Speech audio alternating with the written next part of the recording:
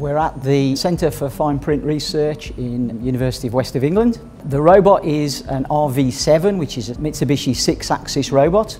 The UWE have connected that to a print generation system. My primary interest is in robotics and what I'm interested in is how robots can interact with the world, perceive the world and make their own intelligent decisions. And I think art in particular is interesting because it contains a lot of nuances. The majority of 3D printers work by depositing layers and they accumulate these layers one after the other to sort of build up an object. But what we're interested in is actually looking at an object and depositing material so that it's sympathetic to the form of the object. Having a robot arm is key because it gives us that freedom and that dexterity to sort of manipulate and get around objects.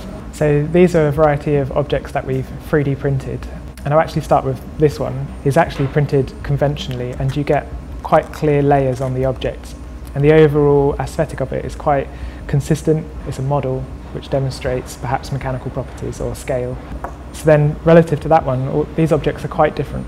If we start with this one, you can see this material is, is quite flexible, it's quite fabric-like, but actually it's the same plastic as this duck. So what we've done here is quite finely controlled the way the machine would deposit the plastic, how it extrudes the plastic and how it manipulates the plastic.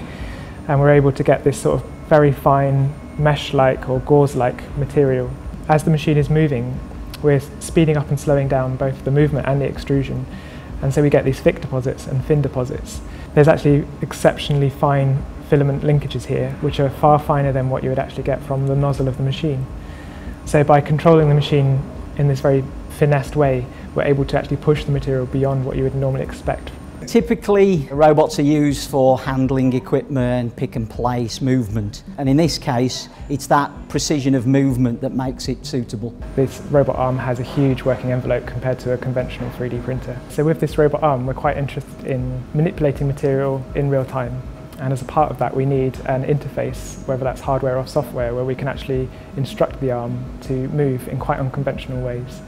So typically you'd want a machine to move efficiently in terms of speed perhaps, but we're actually more interested in getting the robot to move more like human gesture. And that might not be efficient in industrial terms, but it is efficient if you're considering perhaps the surface aesthetic of an object.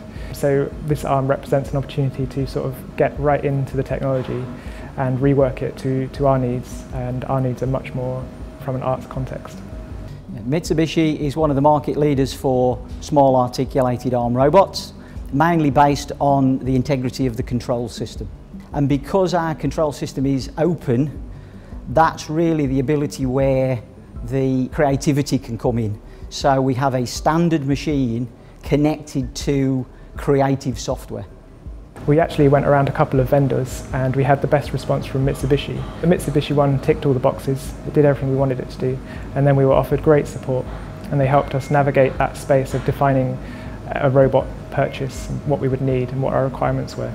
And since the order, we've also had great support in developing the software and getting all of our research to work with the Mitsubishi technology. Technology is implicit in everything we do, and all we're doing here is actually pushing the boundary of, of what's possible.